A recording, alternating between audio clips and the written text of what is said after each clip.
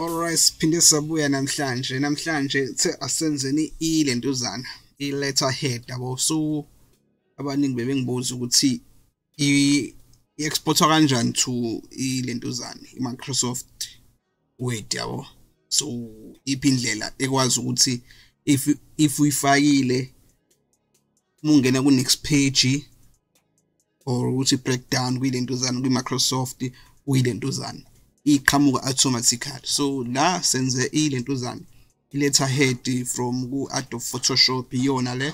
So soyiseva ke manje to PNG uh let's susa i-background so yeah antique background la i-transparent manje. Eh senzela ukuthi if noma beyiprinta elentuzeni we let's save as a copy to PNG right? Uh, where's PNG nangu. Let's say eceleni sithi 2.0 because the corner ikhona vele besiyenza sithi 2.0 all right. Then osilinde ikhopheke. Save no. Then asivuleni i-photo ilentuzana i-Microsoft Office eh i-Word okay let's create i-Word la o9 so before uyifake uh let's change it. Let's change i layout to A4 because A4 wona usize o basic oprintekayo futhi yabo sithi A4 then most ifaka drag and drop so lokhu akusizi because isala ku first page ku next page engeke ikwazi ukuba nayo ilentuzana i-letter head so izosala izosticka ku page 1 kuphela. If senze example asistretch until ifithe on nakho. Say uh ufuna ukubhala upage 2 or into oyibhalayo la iyeqala ku page 2 uh let's say let's break down uh, break out lentuzana so ku difficult ubhale yabo? So if wenza nje like awufuni iye kumanye ama page so ngenza kanje bese isithombe i-letterhead yakhe ibe ngaphansi isithombe sibe ngaphezulu eh in front in front behind i think ile. Let's check. Oh okay. Twisting to in front. Yeah so it's difficult. Kumele ube ube nesikhathi eside. So indlela easy ula ku page 1 okay. Asithi layout no asithi insert and then ungayifaka as la image but best way ukuza la kuletha ku header just click and edit. If usula then uthi insert again uthi image then uthi this device. Alright so nayi nabe siyenza ino 2.0 so ikanje. So for if isikanje asi ilentuzana siyise noma ile ikhoneni. Yabo. Alright sesiyidrage if uyidraga upressa ushift so khane ingayi ingayibi wild yabo ingastretche kambi. So stretch as it is. Yabo. So nayi. So ikanje now let's say insert again sithi header again sithi edit sithi close header and footer. So nayi.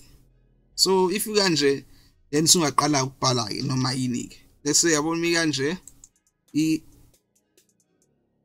sungaqala la ukubhala but manje asiyidrag la siyibeke maybe la below iloko so khona umuntu uzoqala uqale kahle. Let's say la sithini? Title yabo. Eze kuyi title kumele ukhuluma ngawo nabo so umuntu omsendelayo basically let's say sponsor yabo? Kumele ibeke phe e-center before uqale okay let's shamu n so la uzothi sponsorship then dear so and so yabo? Dear so and so suyaqala into yakho yabo? So lese sigcwele uthi lese sigcwele. So le even to ushawu enter iyelela kwelenye ipage automatically ikhona. So usuyaqala i-conversation without u-drag and drop again yabo? So iyona indlela e-right le eh, ongayisebenzisi yabo? So let still sike ku page 1 so if isikanje then singayisave ke ke save as all right let's say save as um, for now okay wait. Uh, most abantu sebesebenzisa more than eh, 2003 so if 2007 2000 and manje sungasave as iweight izibe easy. Ivuleke kahle nakwama nakwabanye. Already khona sithi 2.0 yele yes they say 2.0 yabo. So nayi. So sikhona. If like suyibhalela i-conversation yakho ke so ngeke uyisubmit as i-word so save as pdf umuntu loyo ongalokho e-editor emanipulate izinto zakho. Like if mhlawumbe usufaka ama bank details umuntu seya editor emodify and then we resend again yabo. When ulindele sponsor singangeni kuwena sesingene komunye umuntu because usende as a PDF ushintsha ama bank details zakho so the best way is save as uh, sibuyele la sikhona then sithi where's PDF PDF yabo. Then sungayisave ke la kahle. Okay.